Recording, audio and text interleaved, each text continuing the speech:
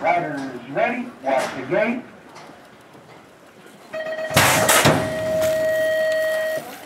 Och där är B-finalen, den yngsta klassen är iväg då.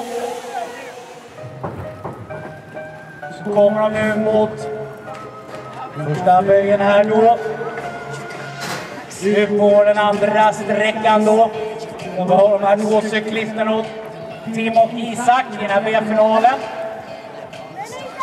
De närmar sig nu då andra böjen ut på tredje sträckan då.